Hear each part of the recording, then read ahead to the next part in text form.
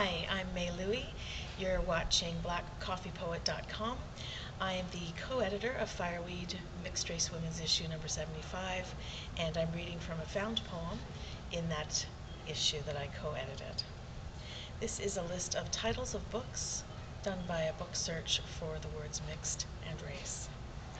The interracial experience, the new colored people, the mixed race movement in America, rethinking mixed race, the sum of our parts, mixed heritage Asian Americans, forbidden love, monsters and revolutionaries, colonial family romance, and mestiças, Tiger Woods, drive to greatness, confounding the color line, raiding the gene pool, relative outsider, the art and politics of identity among mixed heritage students, claiming place biracial young adults of the post-civil rights era, love's revolution, racial intermarriage, one drop, the history of an American family from the Mayflower, counseling multiracial families, 10,000 sorrows, the extraordinary journey of a Korean War orphan, multiracial identity and the new racial order.